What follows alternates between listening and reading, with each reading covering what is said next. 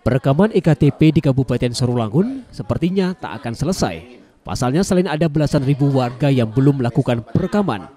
Menurut Kepala Disduk Capil Sarolangun, juga ada 6.000 orang warga yang baru masuk umur 17 tahun melakukan perekaman EKTP. Hal ini menjadi PR besar bagi Disduk Capil Sarolangun, apalagi di tahun 2020 mendatang akan ada Pilgub Jambi. Sehingga Dukcapil pada awal tahun 2020 akan melakukan pendataan ulang dan menyisir setiap desa untuk mendata warga yang masuk usia 17 tahun sekaligus sebagai pemilih pemula.